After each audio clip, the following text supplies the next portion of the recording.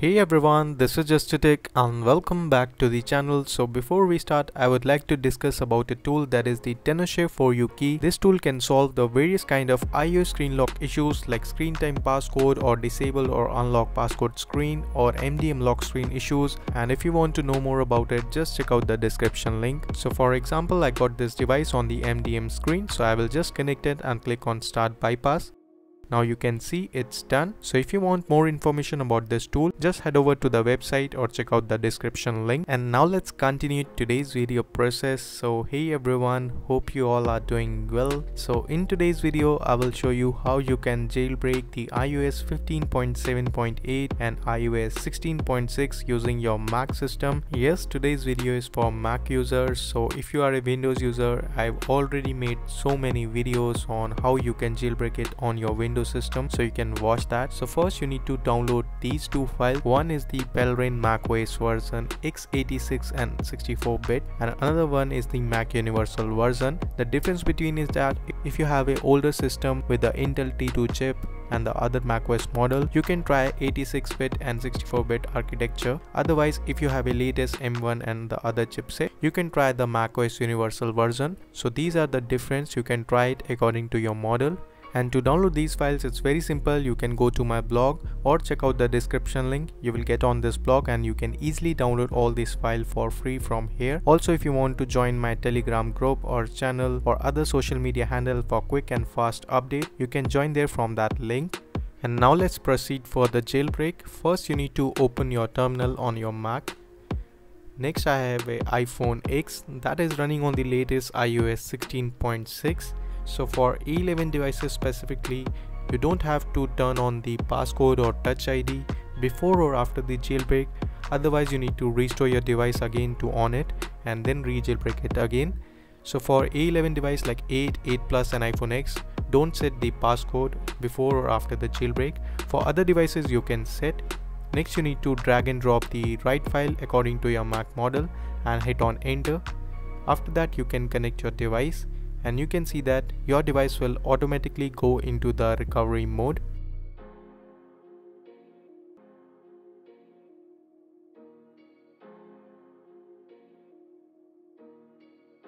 Now next from here you will see on the terminal it will ask you to press enter and ready for the DFU mode.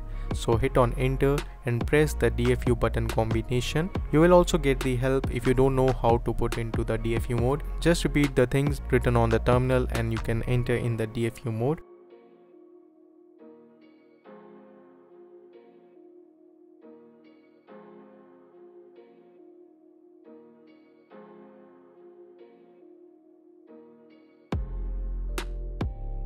After that you will see the verbose boot will start and it will start jailbreaking your device. So just wait for it to get complete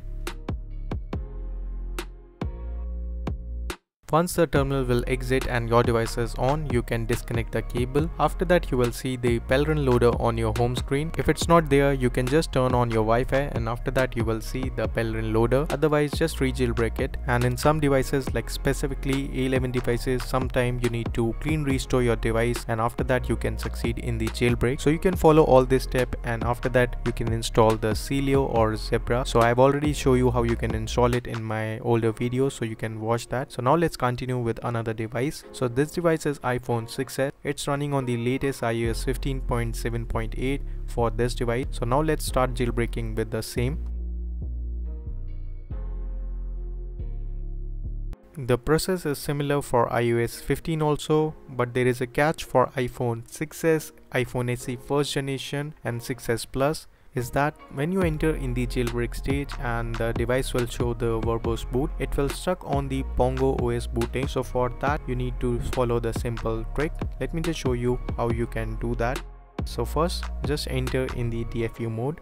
If it's failed you can just retry it and it will work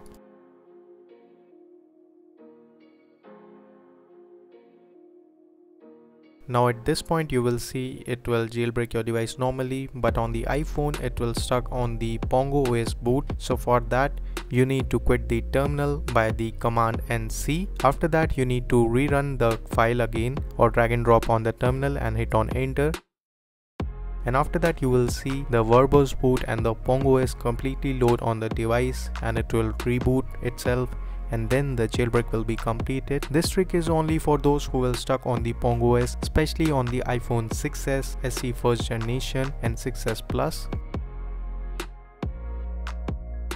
So now you can see the Pelrin loader is here. So we have successfully jailbroken our iPhone 6s on the latest iOS 15.7.8 also the iPhone X that is running on the 16.6 I've already installed the Celio so everything working fine. You can also try it. You can install the Celio package manager or you can use the Zebra. Both are perfectly working on these devices and for Cydia I will just find out some other ways. There is a way you can install Cydia also but with the older Pelrin version. So if you want the Cydia on iOS 15 and 16 latest version write it down in the comments so I will research and make the proper dedicated video for you guys. So that is all for this video. I hope you guys are enjoying my content on the daily basis. So please support my channel hit the like button and if you're new here subscribe to the channel for more cool updates. I will see you in another one. So till then goodbye take care and peace out